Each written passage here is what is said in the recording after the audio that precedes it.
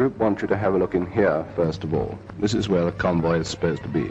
If you see nothing, go on down the leads as far as Sonia Fjord and then come home. Okay? Yes, sir. You shouldn't have any trouble getting in or out. You've been to all these places before and know them pretty well. My home is here in Naskal, sir. Good. Well, all the squadrons will be standing by here, and you're to send a signal the moment you find the convoy. Okay, sir. It was winter, the last winter of the European War. Every day at dawn, a mosquito took off from Scotland to fly to Norway. The men in the mosquito belonged to a Norwegian squadron. They were scouts, and their job was to fly up and down the coast of their homeland in search of Hitler's ships.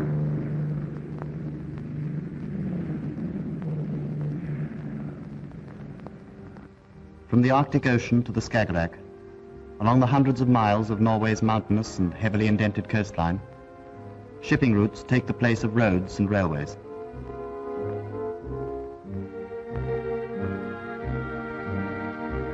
These were Hitler's convoys. Every ship heavily armed with anti-aircraft guns, every convoy accompanied by a large escort of special flakships. Since 1940, when Hitler occupied Norway, they'd been making their way to Germany, carrying thousands of tons of pyrites, fish oil, timber, and iron ore. Iron ore for tanks, guns, aircraft, U-boats, and for more merchant ships to carry more iron ore. In 1944, they were also carrying tens of thousands of troops withdrawn from Finland. Troops that Hitler needed badly on the Western Front. And on their return, they brought coal, oil, food, ammunition, and stores for the German garrison in Norway itself. This traffic had been going on for four years, ever since the Blitzkrieg invasion of Norway in the spring of 1940.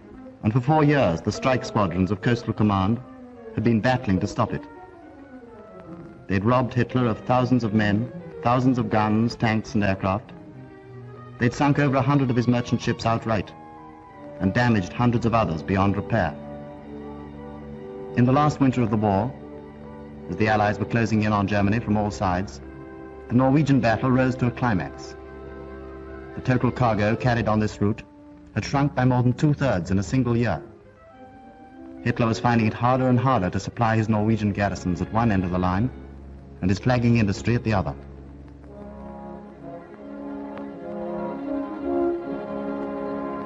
This is the actual sailing route the convoys followed. Inside the islands, hugging the coast. But still they were not safe. From Aalsund to Bergen, the shipping lanes were strewn with the wrecks of iron ore ships, coalers, tankers, and cargo boats of all sizes.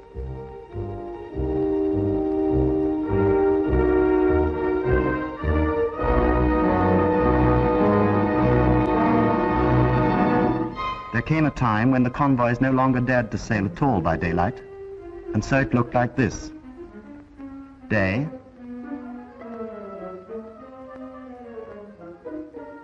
and night.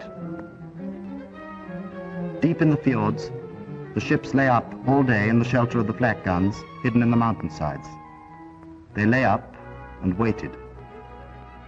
Waited for the coming of darkness when they could up anchor and make a quick dash along the coast to the next fjord before dawn. And so the aircraft had a new task, to follow them up the tortuous waterways and sink them where they lay hidden.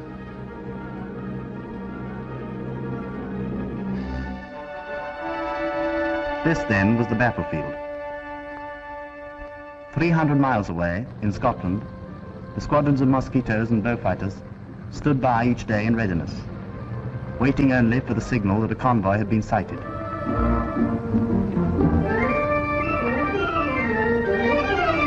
Over the fjords were the Norwegian scouts.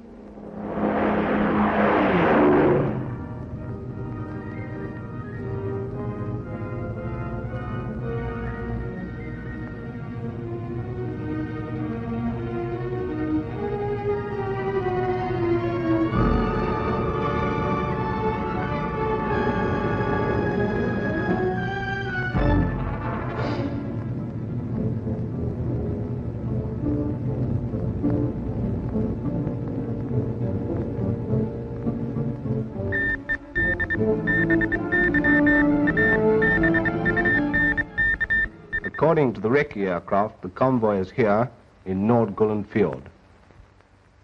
Five merchant vessels, a tanker, and four escorts. The bigger ships are known to be carrying guns and heavy equipment withdrawn from Finland on their way back to Germany. So it's an important convoy as well as a large one. Now we make landfall at Ytterön Light, then go inland for 20 miles as far as the end of Eki Fjord and turn north. The highest point here is 4,000 feet. When we get to Alford Glacier, turn left again so as to come down Nordgullen Fjord from the east. They know they've been spotted, so they'll be expecting us, and there'll be no surprise about the attack. This convoy will be as heavily defended as anything we've seen up here. They'll put up bags of flak from the hillsides as well as the ships. So watch out and keep well in together. Anyone straggling behind will be asking for trouble. Any questions? Okay, let's go.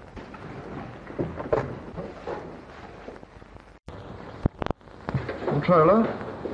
Yes, sir. Take off 10.30. They're leaving the ops room now.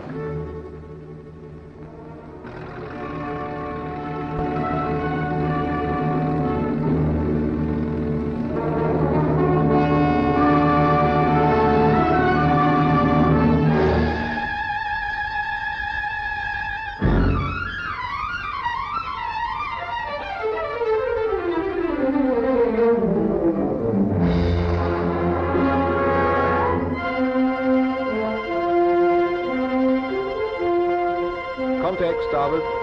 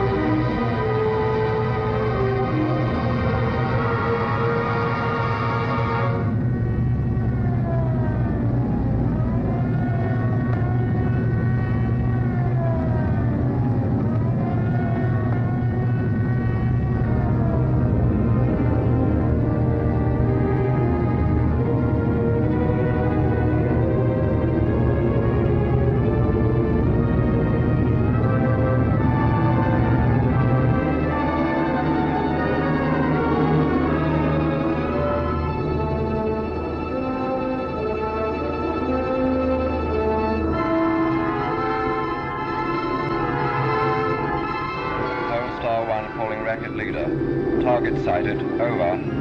Hello, Polestar 1. Racket leader answering. Roger. Listening out. Polestar 1 calling racket leader. Target as expected. Ships along whole length of field. Attack as planned. Over. Racket leader to Polestar 1. Thank you. Listening out.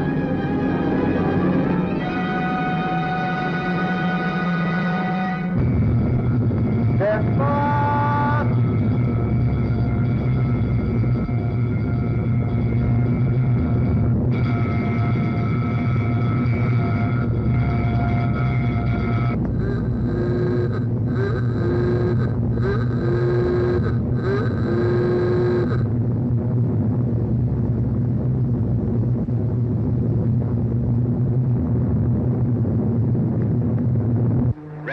to formation. Target straight ahead. Deploy for attack. Attack, attack, attack.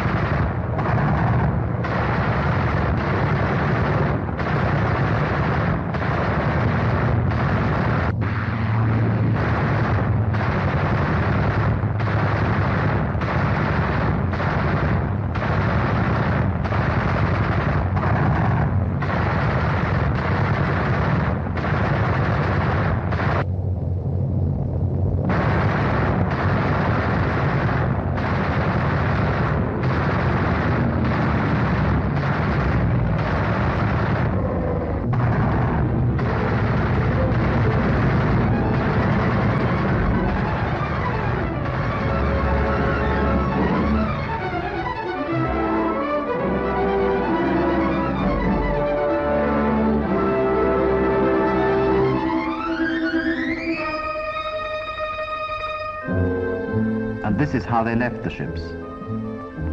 In the end, the Germans gave up trying to salvage them. They couldn't keep pace with the rate of destruction. Day after day, month after month, the attacks went on, until May 1945, when, without a blow, the German garrison in Norway surrendered to the Allies.